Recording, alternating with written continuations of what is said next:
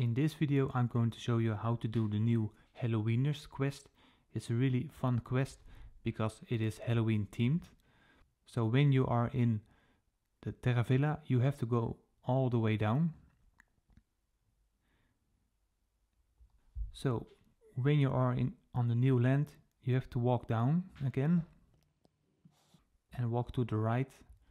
Right here you will find a huge sinkhole. If you walk into here, you will find yourself in a Halloween themed Terra Villa. Have a look at how this new Terra Villa looks like. On the left you see a horde of zombies.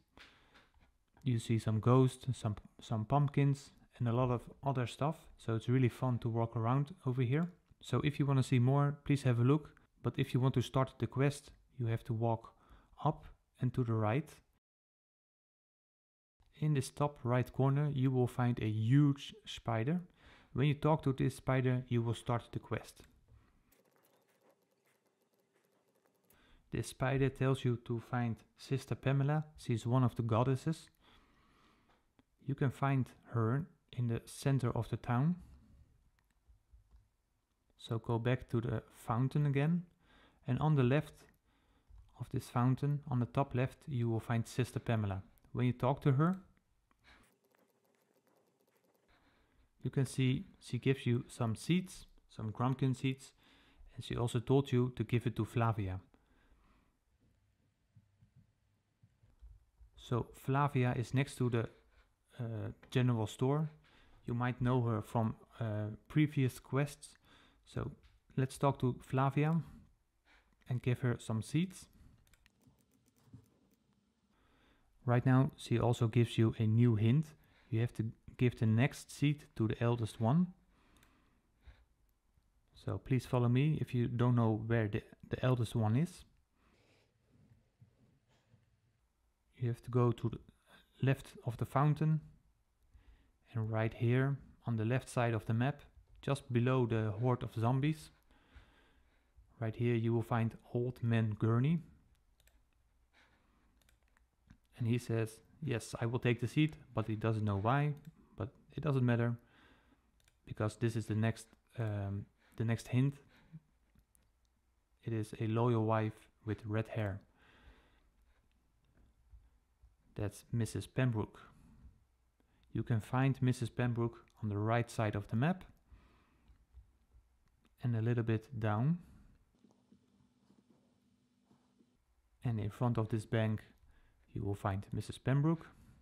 She also takes the seat and she gives you a new hint.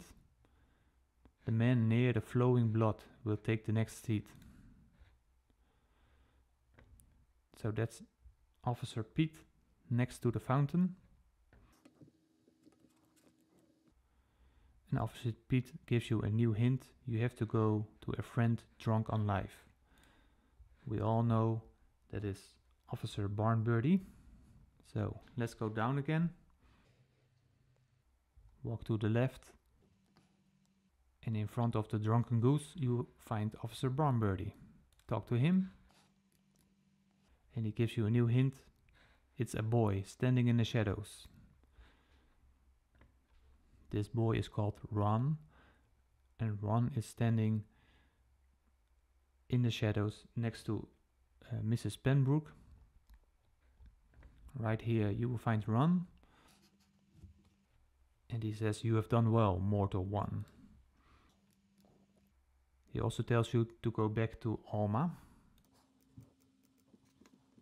So, this guy was the last guy you had to give the seeds to. As you can see, you also have six Grumpkin seeds left.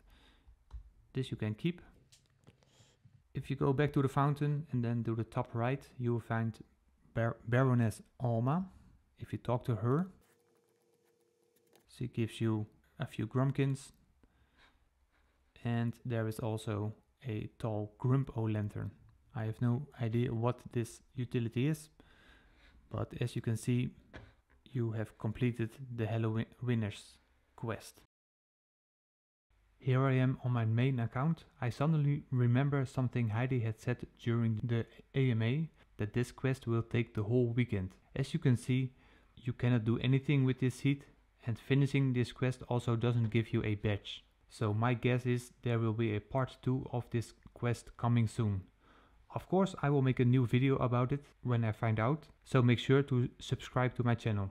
In the meantime, have fun during the double XP weekend and maybe have a look at this next video.